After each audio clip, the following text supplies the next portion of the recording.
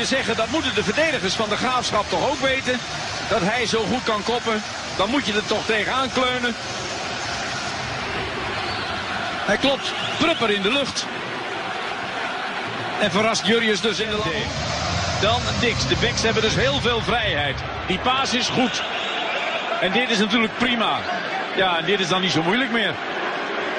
Maar die paas van Dix is prachtig. Solenki's actie.